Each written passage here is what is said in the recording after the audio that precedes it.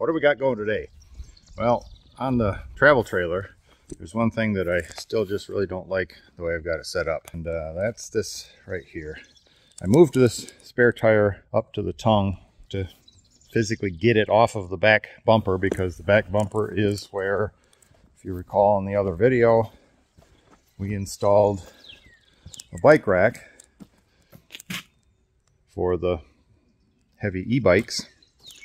Had to get that spare tire off of there. So I put it up here and it rides okay there. It doesn't quite rub against the front of the trailer. And you can get the sway bar just to clear it, just enough to get it up onto this rack there. But it still is kind of in the way. I just, I don't know. I don't really like, let's just say it's not ideal having it there. So what I think I want to do is to explore the idea of taking this off of there and getting it to set horizontally underneath the tongue with one of the spare tire jacks like you would use under the back of a pickup truck where you you put the jack handle in and you crank it to let the spare down then you crank it back up to tuck it in tight. So I'm going to measure this up make sure I got room underneath there. I'll have to I'll have to miss these appendages like these load distributing hitch brackets extend down below the bottom of the frame and those could be a potential obstacle. Let's get down underneath here and see what we can find. Okay, so we've got this obstruction here, or that tire can't come forward from this point here, but it can arc in between them. And what I just measured on the tire, I could come about, you know, three, three or four inches from there. So, and it's a 27 inch tire.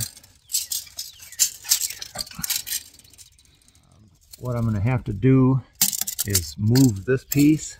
That's a, just a clamp. So I will move the clamp from this position out to this and uh, put it into the side or the bottom of the, the battery box. Uh, same on this one. I may need to move two of those.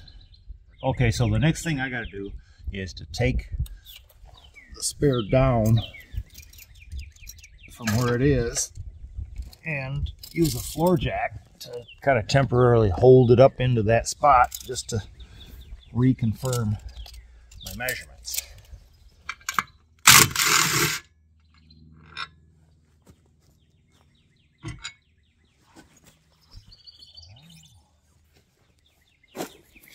All right, so far here?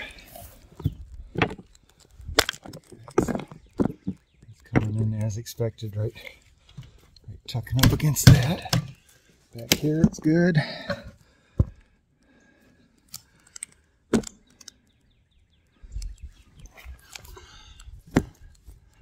That's good. So if that was another inch and a half up, then it would be, I think, plenty high above the ground. So I think that's going to be a good location. So I'm going to go ahead and move forward with it and get the get the cables out of the way. Oh, the other thing I need to do is to figure out exactly where I'm going to align the jack. Okay, that's going to be a potential obstacle because the jack I'm going to put on here looks like it's going to have to correspond with almost the dead center of that battery box in its present location. All right, so I'm going to have to figure out a way to reposition that battery box. All right, this is the jack I intend to use. It's just a spare tire hoist, but you can see that's got to go right in the middle there. Look at this thing. This fits exactly between the rails that currently support the battery. So all I have to do is move that battery so that I can mount this thing straight up over top of the center of where the spare tire is going to sit.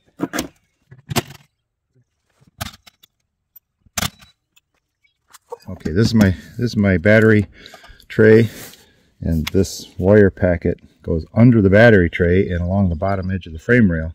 If I can loosen it up at the front from wherever it's terminated and bring it up over top of this battery tray and into the tongue, then that would be perfect because then that would avoid any obstruction on the bottom side where the tire is going to be wanting to pinch up against and and ride. So let me next see about rotating this battery 90 degrees.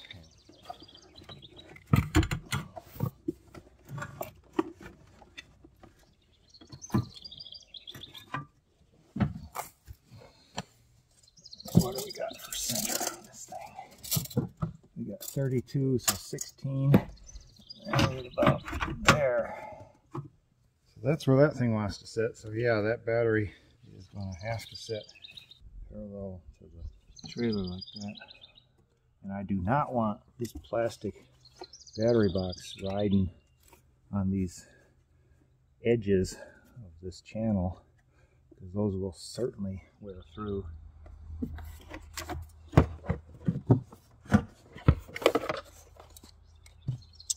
Oh, I like um, this one would be happier if the cords were coming off the back of the box. And this other one really has the length to where it can go either way. Oh, that, look at there. Woo. Isn't that looking sweet? So that has just plenty of slack there, so there's not, not going to be any any problems with that at all. So I've always wondered if if uh, it's more interesting to talk through the thought process on how I do projects like this and how I work it out and come up with a plan and look for obstacles and overcome those obstacles. Is that interesting? Or is it more interesting if I just shut my mouth and just roll tape and, uh, and then fast forward through the whole thing? So go ahead and comment if you have a strong opinion about that one way or another. Go ahead and comment below. I'd be interested to, to know where I should draw the line in the future in terms of running my mouth versus running my tools. This just needs a flat plate across there to distribute the weight off of these sharp edges. These are the these are the ones that I want to get them away from the bottom of the frame rail. And to do that, I got to put them up over the battery trays there. So I got to figure out where they terminate and move them accordingly. And it looks like the two fat ones just come out here to my pigtail that goes over the back of the car. Then this thinner one, this thinner one runs up to my electric tongue jack. And let me show you something on that. Notice that?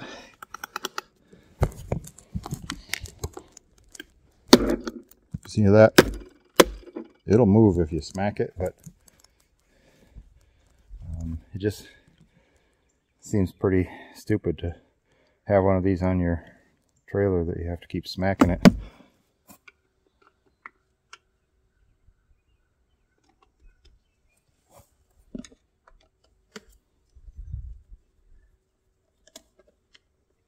Of course, you know what this means.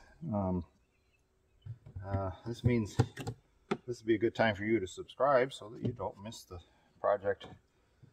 It'll be coming up real soon where I replace this standard equipment tongue jack with an aftermarket replacement. Because if I've got this thing half apart to do the spare tire relocation project, I'm not likely to put it back together between now and when I put this jack in place. We got these two these two things there and and they just unplug.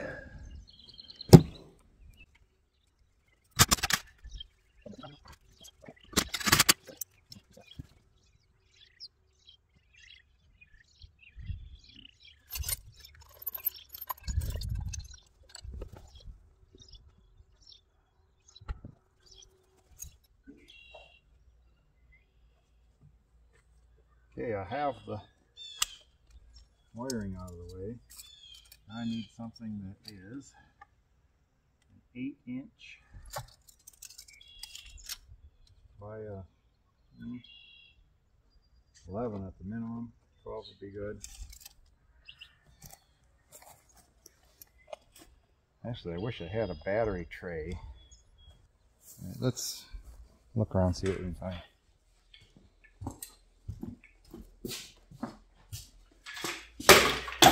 All right, what I'm going to do is I'm to take this old bed frame and use the channel it to cut some pieces off and make a new battery box holder. Yeah, right in there like that. That bed rail will be a perfect battery box. I can cut that, weld it up real quick, and have that attached in no time.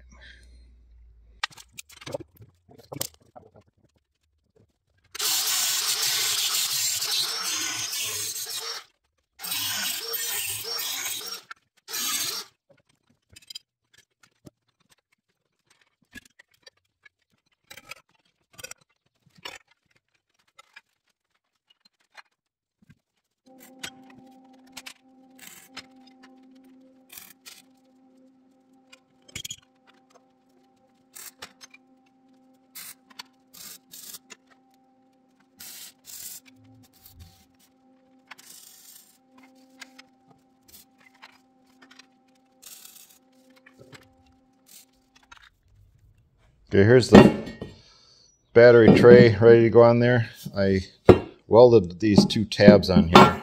Uh, and my camera was off while I was doing that, so you missed that part. Sorry about that. But these are to be able to attach it to the other frame rail or the other battery tray that was going crosswise on the tongue, which this will be now sitting perpendicular to that. So let's go fit it up and see how it works see.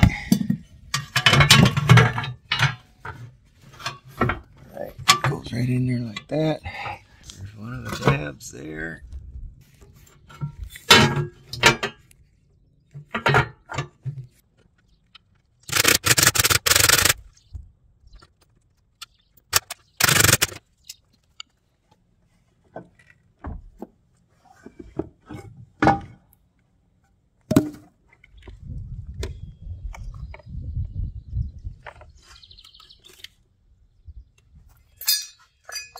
So now this is the block that I made. It's treated wood, spray painted, and I had to hollow out the center of it so that I can push this down through it.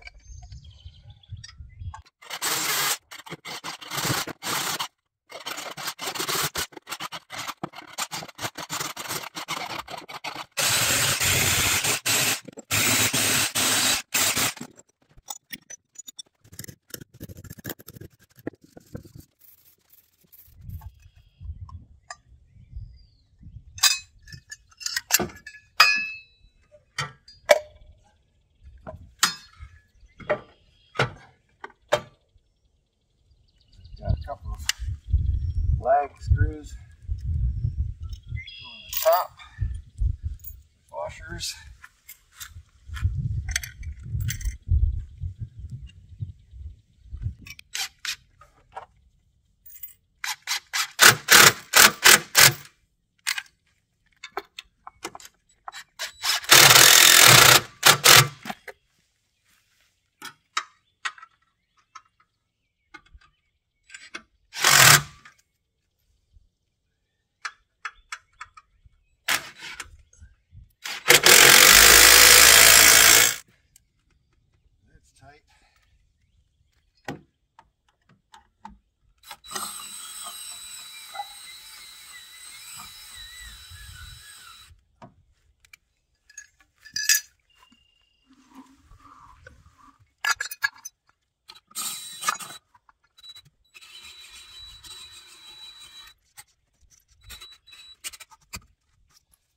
That's what tight looks like there.